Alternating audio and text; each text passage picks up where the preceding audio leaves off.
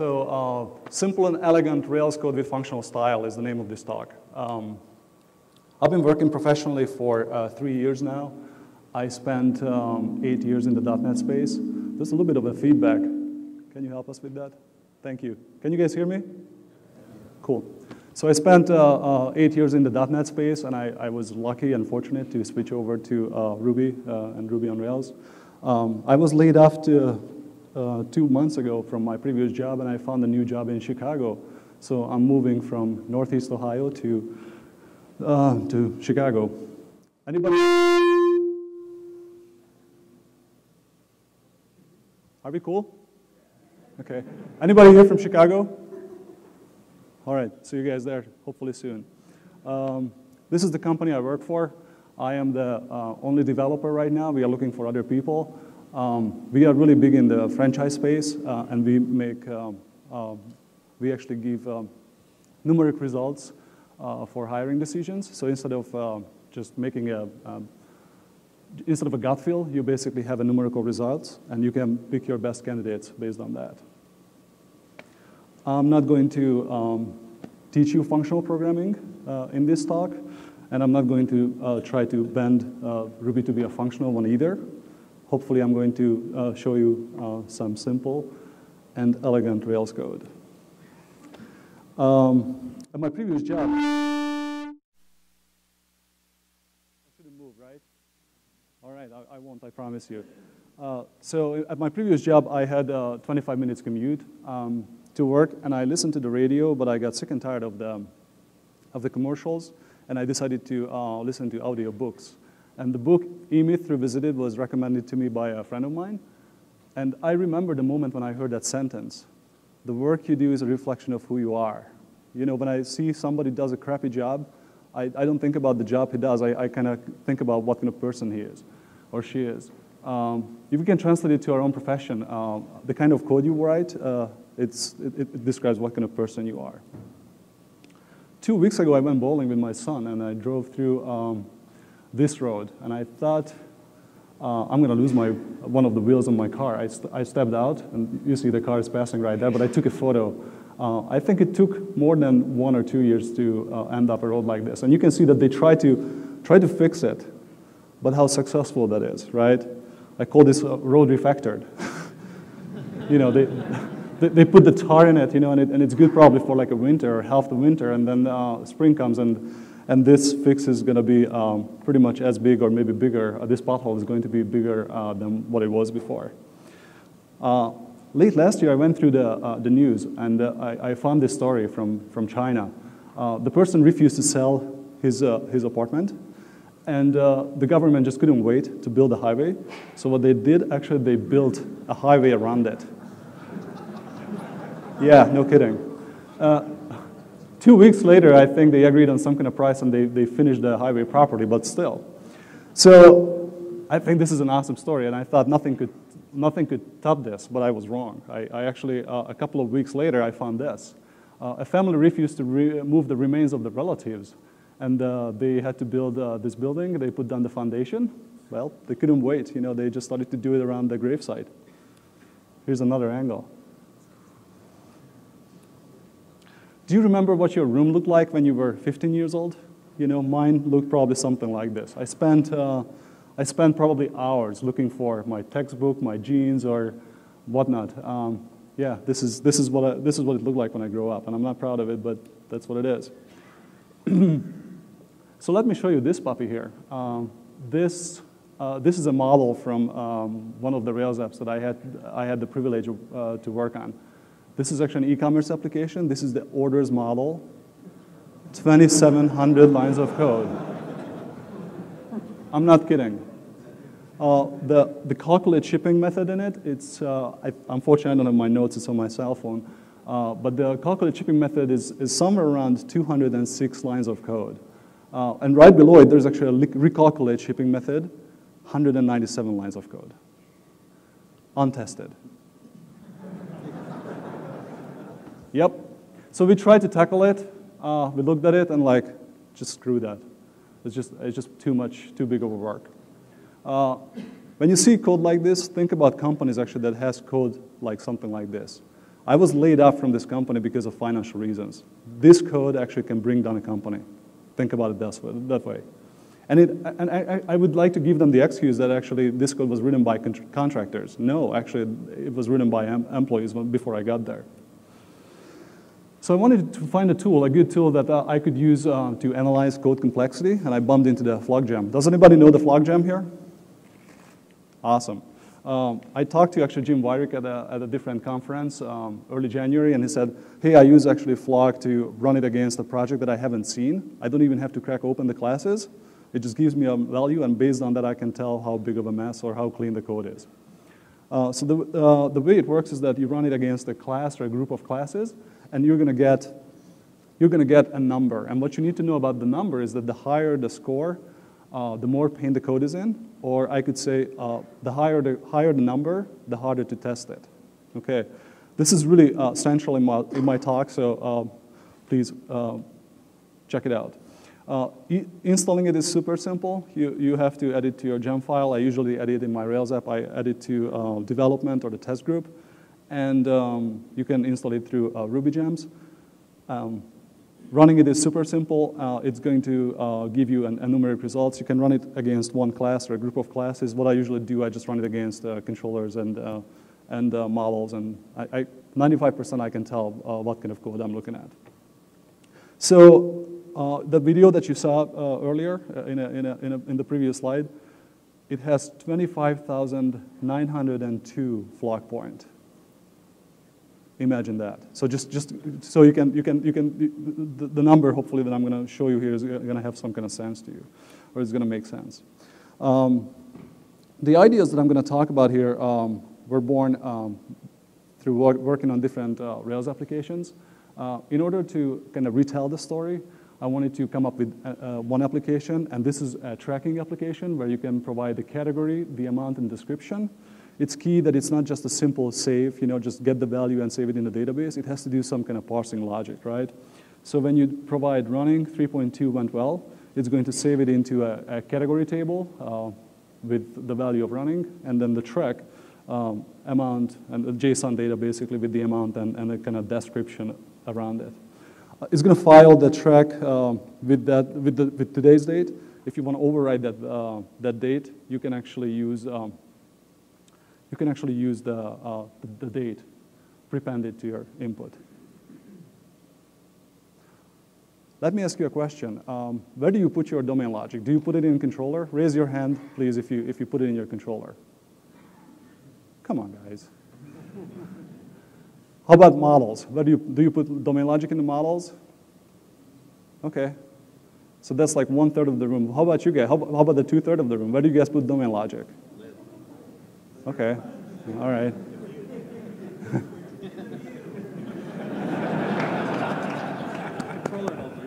yes, yes. So uh, I, I thought actually this is history, but the, the code base I inherited from contractors uh, or consultants, actually I don't, I don't call them consultants, I call them contractors. Uh, the code base I inherited from, uh, from uh, contractors at Hireology, uh, it's controller heavy. So 1,750 uh, lines of code actually in a controller is not uncommon. Yes. Oh, and by the way, I, when I was interviewing, I asked the contractor, hey, how many unit tests do you have? You can guess the number, right? Zero. I'm sorry? I, I did because the, um, yeah, good point. I did join them because the business idea is great and I think they have a future. Yeah, we just have to clean up that, uh, clean up that application and I, I hope I can come back and tell you guys the story, how, what we did about that. Um, so basically, uh, what I try to do is I try to uh, code this uh, parsing logic into the controller action, and this is what pretty much what the code base I'm working right now looks like. Um, I don't want you to spend and understand basically what it does. Um, it basically just has the stamp on it, right? There's 48 lines of code, uh, really bad. This is how the flog looks. The flog values uh, actually are, tr are trending. Uh, this is our initial state. I'm comparing black is the controller, in case you, can see it, you cannot see it and green is the model, right? The controller has a higher value because it does the parsing, right? The, the model has some additional logic, but, but not all that much.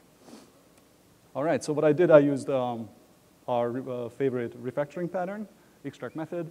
Instead of using uh, comments, I used um, uh, method names to describe that particular routine, what it does. I went from 48 lines to 25 lines.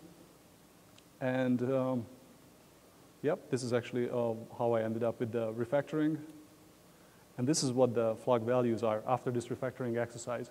Uh, flog total went up slightly. Uh, you can see it's 71, and it was around 65-ish. However, the method with highest flog in the controller dropped down to health, right? So instead of looking at that huge action, you know, with like 40-something um, flog value, 46 point, it's now 20.6, just by uh, using extract method. A pretty good sign. And uh, this, is, uh, this is where we went, right? We figured out that uh, reusing logic from the controller is not all that easy. So what we did, we uh, went from fat controller to fat models. Um, I tried to follow this trend as well. I moved the parsing logic from the controller action, put it into uh, the model. And you can see now that the controller looks pretty nice, pretty clean. You know, instead of doing the logic itself, I'm, I'm actually doing the parsing in the model, and I'm just sending the message to the, to the model. And look, Look how we, we are trending here. The, the, model went up to 84. Uh, and, the, and then the controller actually dropped down to uh, 25.6. Pretty clean. You know, I, I can tell you that uh, a class with 20, 30 flog points, you can, you can pretty much grasp and understand what it does. And always think back, you know, that, that example that I showed you, that was 2,500, right? 2,500 points. And this is where I joined the party. Um, three years ago when I, uh, when I started working on the Rails application that I, uh, that I had the pleasure to work on, it was a, by that time it was a four-year-old four -year -old app. And uh, when I joined the company, I asked the fellow developers, uh, how many unit tests do you guys have? Well, we have zero. That's why we hired you. We wanted you to help us with that. It's, it's cool. And why, why don't you guys running it? And the, the answer I got was is that it takes forever to run it. It was 17 seconds actually on that code base to run one spec. So imagine doing TDD by that. So what I decided to do early on is move my business logic out into services. And uh, I had a blog post out there on it. It got uh, quite a bit of uh, um, hits. Um, and I was, uh, I was stubbing actually a whole lot of stuff out of Rails that I don't do anymore. But uh, with these techniques, I was able to go and run ex uh, execute actually specs under one second. It was a totally different feeling. All right, so uh, the, the code really doesn't uh, change all that much after this change. Instead of calling the, the, the model, I'm calling the service. And the service itself is a PORO object. It doesn't inherit from any kind of active record or action controller or anything, anything Rails related. So I can easily test it as just like a pure, plain old Ruby object. Do you guys, do you guys actually write services this way? using POROs? Raise your hand if you, if you write those. Sweet.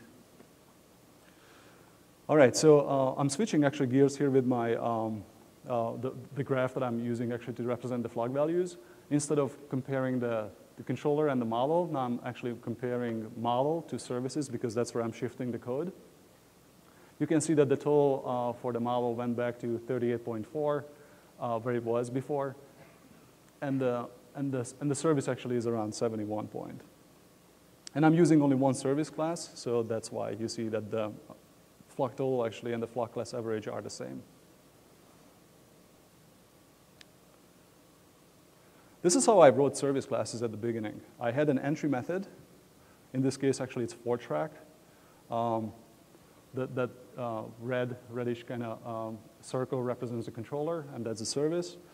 Uh, the for track is my entry method. It calls other methods on the service itself. And by the end of the call chain, I have an instantiated track object available. And uh, this was beautiful because I was uh, testing actually all the methods. I made all the methods private. I killed many unicorns. I, am proud of it. Uh, but basically what happened was is that uh, this was one object, and when I changed the signature, let's say the builds category, for the builds category method, went from two arguments to three arguments, all of a sudden my unit test started breaking. Like, why? I mean, this shouldn't. Of course, because I was testing uh, private, supposedly private methods, I made them public just, to, just so it's easier to test. So I changed it back. I'm gonna, I used actually a one public method on the service class uh, for track. Everything else was uh, private. And um, I was able to change now the, the, the signature of the method. However, uh, setting up the test were really, really hard. Just because that service object was violating single responsibility principle, and it was really hard for me to test those. And the question comes, uh, what do you do when uh, um, your uh, business customer or, or your customer comes back to you with additional requirements? Where are you going to put that code? How are you going to grow this service, right? Are you going to add another method? Are you going to increase the, uh, the effort that it takes actually to run one single test? Yep, just think about that. I was sitting at this coffee shop um, a year and a half ago in January, helping a, a coworker actually with a problem. And um, we, we coded a service this way, and it took me, I remember, 10 minutes trying to understand why I cannot run a, a spec, why a spec is failing, what is the dependency there. It was obvious that the specs are telling me something and I wasn't listening. Before I continue the story, I'll take a look at how I name my service. Instead of using objects, physical objects like user or employee or door or car, I'm using actually verbs. They define action. And uh, I, what, i what I learned is that I can follow single responsibility by naming my services this way. So when I call a service parses feed, I know exactly what it's going to do. I know it's not going to save a category into the, the database table. I know it's going to send, it's not going to send an email to the customer or anything like that. It's going to do one and only one thing called uh, parses feed. It's just going to parse that feed that I'm, I'm, I'm passing to it. I attended Code Retreat um, pretty much at the same time when I was sitting at that coffee shop, and somebody recommended reading this blog post. Please do yourself a favor and, and read this. This is actually written by a Java developer. It's called uh, Execution in the Kingdom of Nouns. Uh, read that blog post, and you're not going to name your, uh, your, um, your object the same way or your services the same way.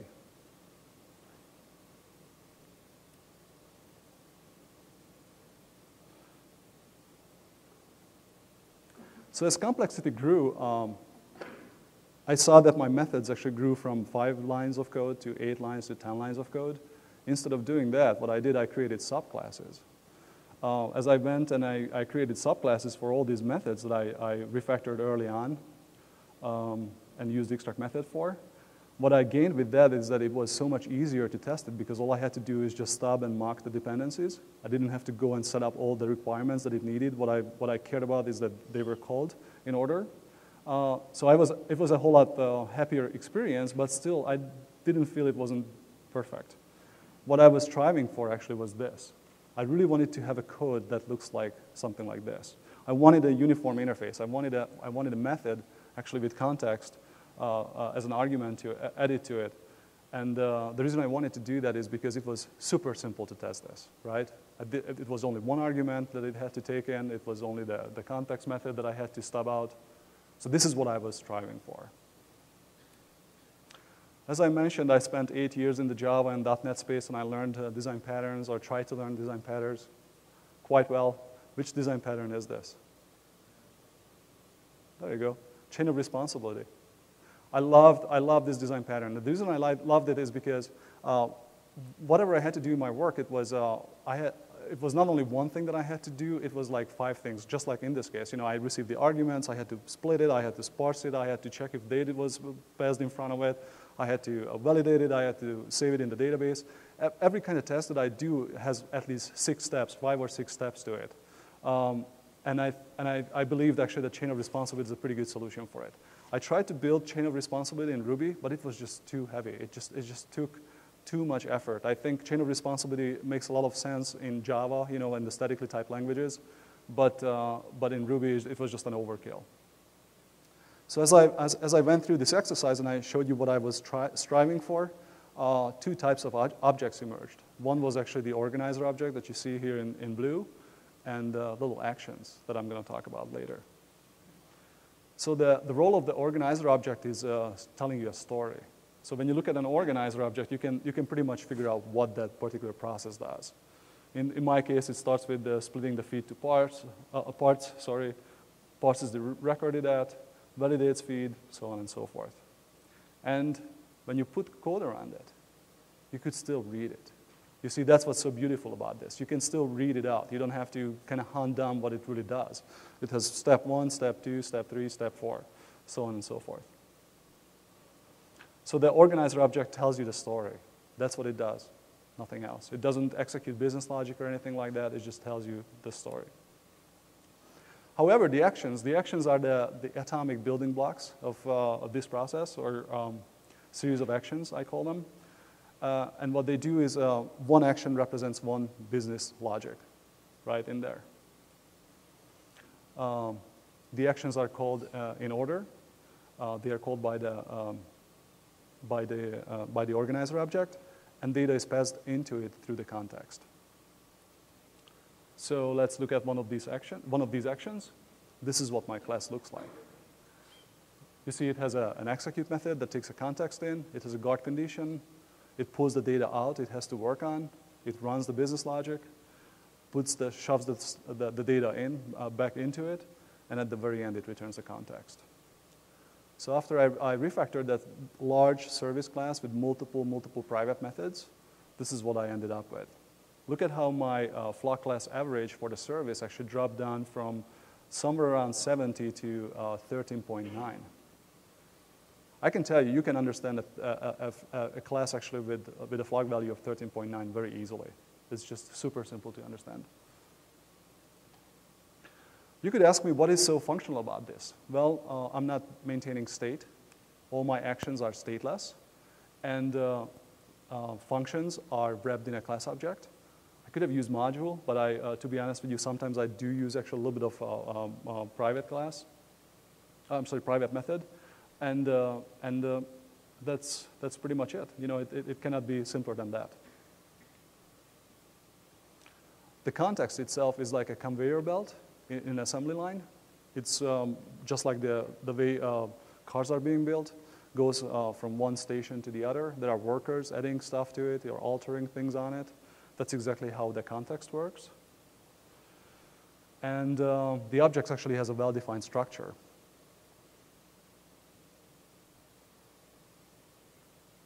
Yep. The context actually, you can see that it's instantiated by the organizer object. And um, they are being used actually to pull the data out, just like I, I used the analogy with the uh, assembly line. And um, they are pushing they are pushing uh, the context into a failure state. Because I need a signal if something failed, I don't want the third and the fourth step, for example, to execute.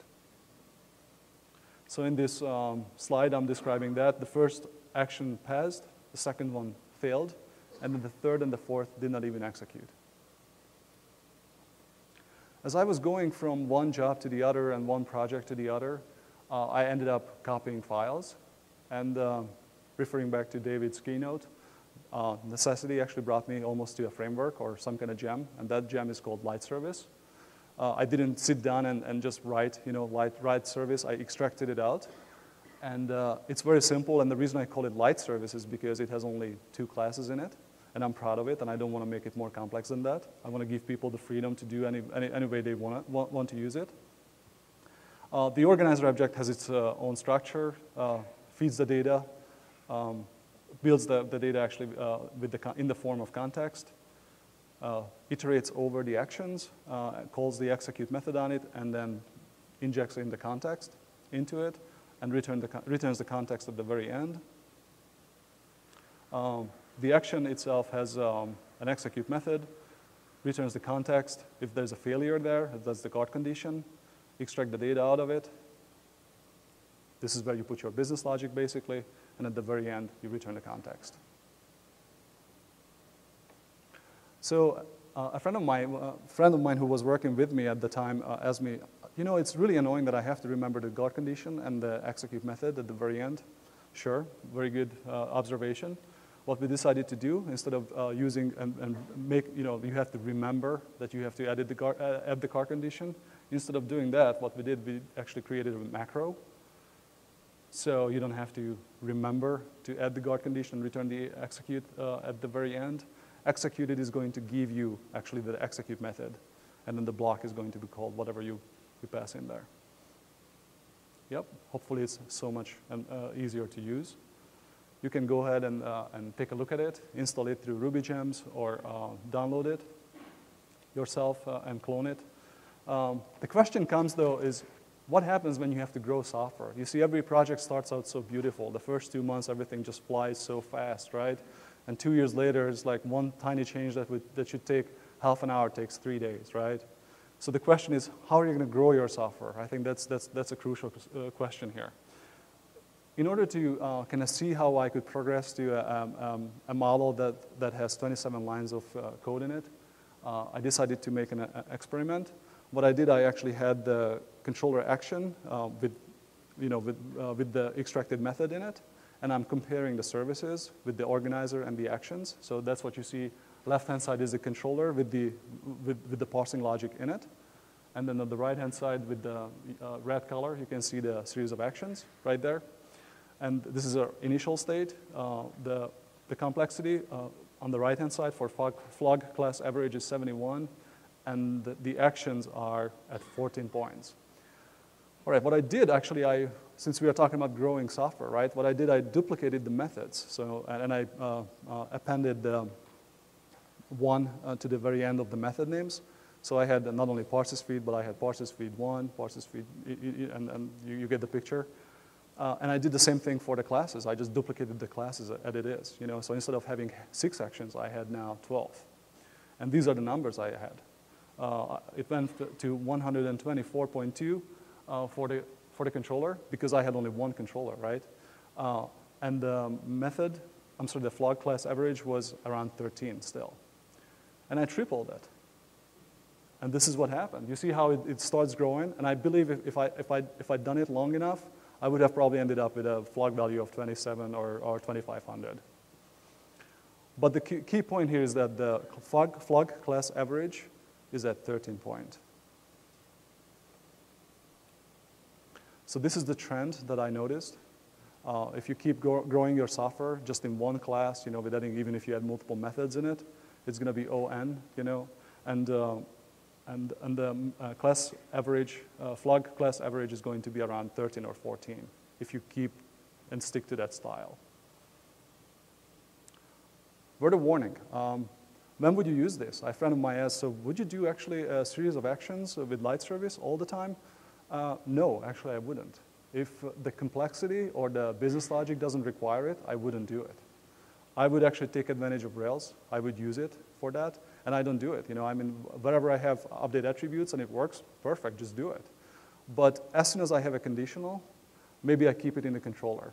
As when I have the second conditional, or maybe a conditional and an iterator, I'll break it out into a service, and if that service actually is doing more than one thing, I'm breaking it in, up into two actions and one uh, organizer object.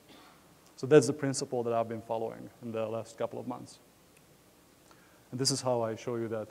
Take advantage of update attributes. If the case is simple, please use, please use Rails. It's pretty good at, pretty good at that. What if you haven't worked on this code for, let's say, six months, and, uh, and the, the customer comes back that, hey, um, the way we initialize the, the, the category, I want to do something else there as well. What do you do? Well, since I'm not using uh, observers, I'm not using uh, concerns, um, basically what I have to do is just look at um, either, either the routes or just execute the action, figure out which action and controller I have to go into. I find the controller, and in the controller, I see that, okay, the, the logic is not coded there. Actually, it's externalized into a service. Very good, I follow that, and I easily follow the service. I go into the Rails independent service, and I notice that the logic is not there. It's an organizer object from a series of patterns, a series of actions, sorry. And I look at since it's really easy to read, I look at the actions and I find actually that the category is the fourth action. I open up that action, and from the 13 lines of, or 15 lines of code, I can easily find the line where the category is being initialized. Super simple, actually, to find the code. I remember actually uh, pairing with a developer uh, at a shop in Chicago, and they had a build failure. And we stared at the code for an hour trying to find why we couldn't initialize an object through a factory. How's it going? The other uh, advantage that I, I, found was actually code reuse. This was about a month ago. I had to uh, work on um, one of our interview guides. When we load it, we have to go through a series of, uh, of different tasks, and I uh, put it in into this code. This is actually from our production system.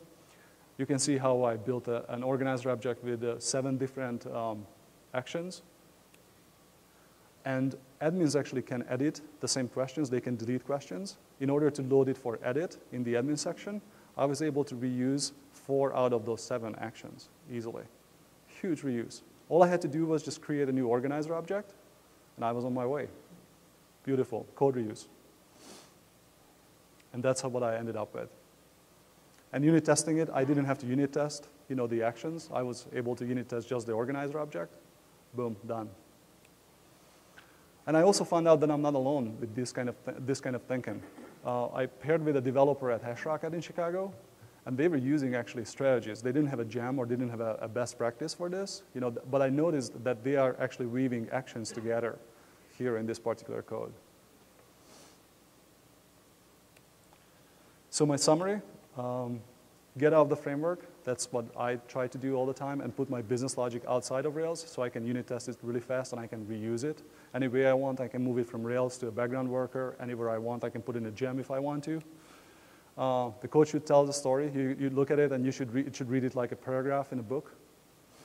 Um, don't use state if you don't have to. I think it gives you complexity and it's just going to make your code more complex. That's what I found. Uh, separate behavior from the data.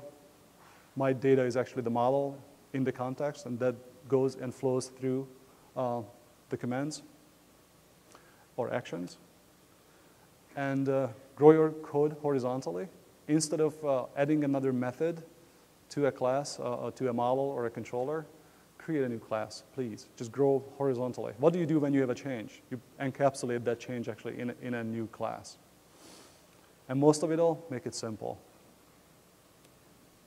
So when you remember um, this, this actually uh, 2,500 lines of code that I try to represent with this messy room, I'd like you to think about this hotel room in Japan. This is actually a hotel room without a TV, without a furniture, or anything like that. Look at the simplicity of this hotel room. So when you see actually an action like this, I want you to imagine that hotel room without any access, any access furniture, anything, anything, anything unneeded. Here are my social links. I'm going to have it up there in a moment. Thank you for your attention. I actually, you can find uh, the slides. It's an older version, but you can find it actually through this uh, link if you want to write that down. It's bit.ly ad at RailsConf. I constructed that link this morning. And thank you for your attention.